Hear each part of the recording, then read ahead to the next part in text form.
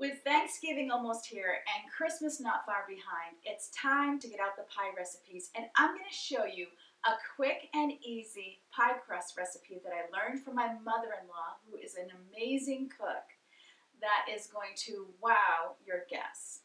This crust just has three simple ingredients. It's two cups of flour, one cup of shortening, and a half cup of ice water. You're going to put in your two cups of flour all at once and then add your one cup of shortening.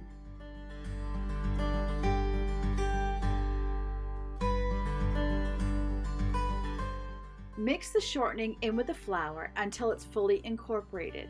I just use a simple fork for this, but if you have a pastry cutter, you could use that. And you're gonna know when you're done when it all resembles little balls and there's no loose flour anymore.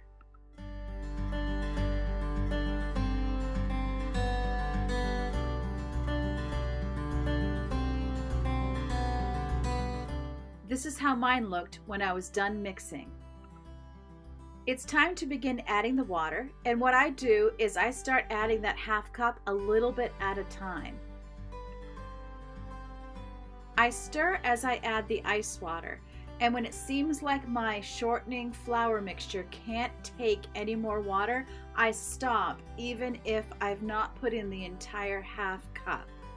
It is a wet dough, and that's fine.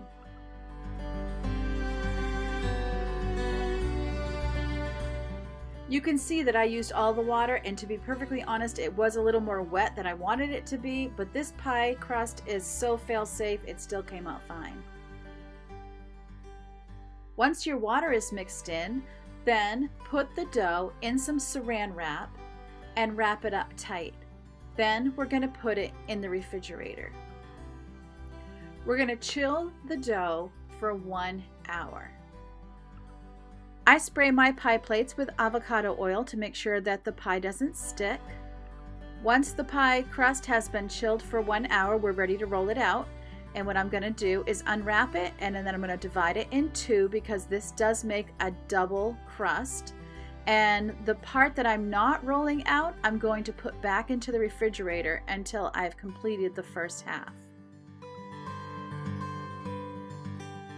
I'm going to be rolling this out between two pieces of parchment paper because I found that when I do this, I don't have to add as much flour onto my rolling pin. This helps me to avoid overworking the dough, which is a big deal with pie crust because it will make it tough if it's overworked. So this way I can just roll it out once and I'm good to go. I flour the bottom piece of the parchment paper and then I also flour the pie crust itself, and I do use quite a bit of flour as you can see here. Also, I have flattened that dough a bit with my hand first, then I put the parchment paper down on the top and I flatten it with my hand again first, and then when I'm rolling, I'm trying to go from the center out. And I keep turning the parchment paper because I'm, in general, making a bit of a circle with it. Personally, I'm never too concerned with how the bottom of the crust looks, the bottom piece, because that's going to be covered by pie filling and no one is actually going to see it.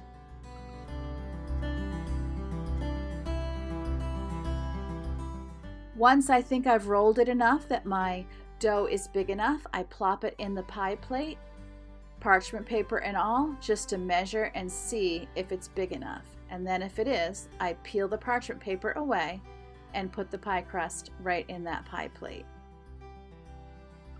Now, if you wanted to freeze your pie, that would work perfectly well. You can freeze it raw once you've put the pie together. Of course, you'd probably want to use a disposable pie pan if you don't have enough pans to spare one that would stay in the freezer. So here you can see me peeling that pie crust away. It's a little tricky, so that's why it's important to make sure you had some flour down. Now that my pie crust is in the pie pan, I'm just working it around with my hands to make sure pie crust is covering all the spots I want it to cover. One thing I'll say about a homemade crust that I love is the store-bought ones tend to crack um, where they were folded and you're always trying to mend it and it's very easy to mold a homemade crust. I love this particular recipe because it does have a lot of shortening in it ratio wise, and that helps the pie crust to be that much more pliable.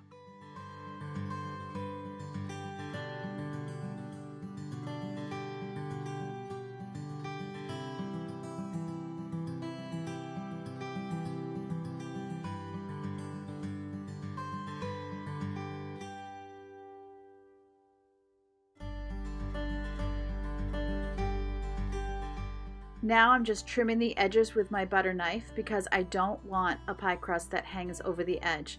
If I was going to do the pinch method of putting the two pie crusts together with the pretty pinches on the outside, then I wouldn't do this. I'd want it to hang over the side, but I prefer to fork press my pie crust, which you'll see later.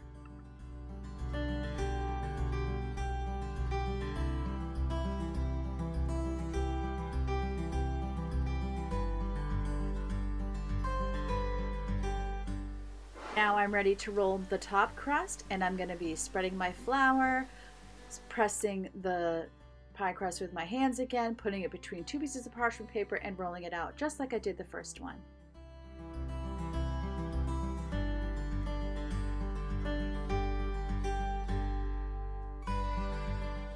Now I'm making sure that I don't have any wrinkles that were caused by my parchment paper. Sometimes the parchment paper wrinkles and so I'm just flattening that out. Now I'm placing the whole thing over my pie, taking off the first layer of parchment, flipping it over, and peeling back that parchment paper and look how perfect that pie crust is. I'm putting it on top of an apple pie. If you'd like a recipe for apple pie, I will link one in the description box below. The recipe I'm giving you uses cornstarch as a thickener, which is really important if you plan to freeze the pie before you bake it. Now I'm fork sealing my pie crust. This was how my mom did it and my grandmother did it as well. And so it feels very nostalgic to do the same thing that they did. And I'm going to be poking holes in the top of the pie with my fork that lets the steam out. I'll be baking this pie at 400 degrees for about 30 minutes or until it's golden brown on top. Please let me know in the comments below if you decide to try this pie crust recipe and consider subscribing because there'll be more holiday recipes on the way. Thanks for watching. Bye!